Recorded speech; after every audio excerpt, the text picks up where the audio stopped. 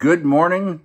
It's May 10, 2021, and it's a Monday. Here in LA, another cloudy morning, very still right now, 61 degrees Fahrenheit, around 16 Celsius. This morning, I started thinking about James Brown and his great hit record from 1965, Papa's Got a Brand New Bag.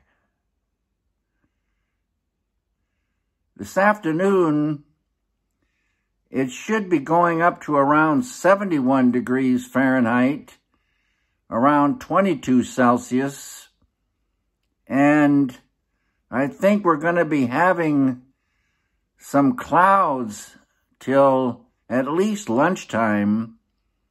After that, we should start seeing some beautiful blue skies and golden sunshine all along the way. Everyone, have a great day.